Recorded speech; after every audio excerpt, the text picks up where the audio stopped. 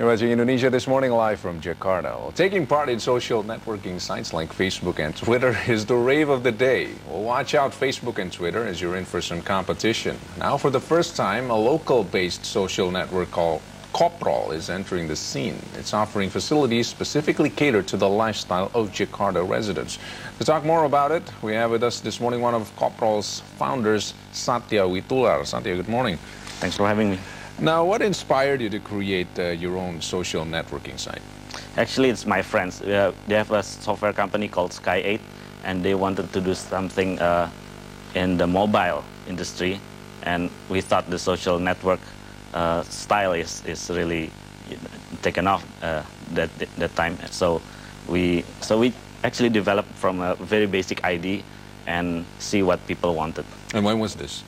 Actually, uh, it's people start recognizing it at around half a year ago at February, mm. and they just added their friends and their friends. We haven't done any advertising yet, but we have around 6,000 6, members right now. Okay. And why Koprol? What, what, why name Koprol? well, we just wanted a name that people would be confused about. No, actually Koprol is from a Dutch word meaning head roll, you know, when you turn your body up, right. up front. But now kids use it as a term that means uh, moving from one place to another, uh -huh. sort of like what city people are doing right now, from one mall to a, a mall, and from a campus to their house, and just moving around on a daily basis. So a very short catchphrase that you use. To, yeah, to, just to, something catchy, hopefully. Yeah, to, to pretty much uh, signify uh, what, what this is all about. But what's so different, uh, this is what I'm trying to get at, with Koprol compared to Facebook and, and Twitter? Koprol is a local thing. So uh, we have similarities to Facebook and Twitter in terms of status updates, which actually every social network right. has right now. But we're about local, lo we're about location.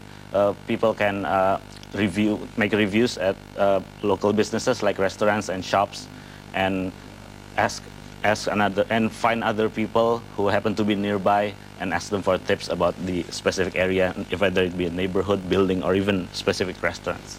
So if, say, if I'm at a, a, a specific mall in, yeah. in, Plaza Senayan, say, for yeah. instance. you can check into Koprol, you just say you're Plaza Senayan, and you immediately see... Specifically in, in one restaurant there? Even like in, in one third restaurant. floor? Yeah, yeah even uh, in specific restaurant in, right. in the third, third floor. You'll see other people who are there right then. Or at Plaza Senayan? At Plaza Senayan, or even that specific restaurant. Uh -huh. If they if they happen to, you know, take a picture of their food or uh, typed in what they're doing, you can see what what they're doing right then. So.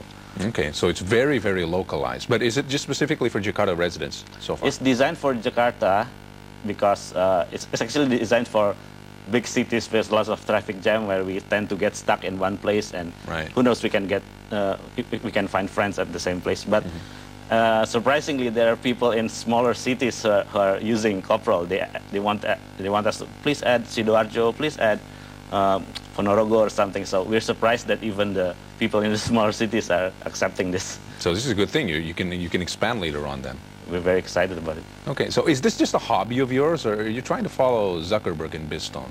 It started as, as a side project because it is a side project of a company called Sky8 and they make money from doing real software. Mm. This is something we do at the site, but with, uh, with tremendous um, support and people getting excited about it, it became our main project.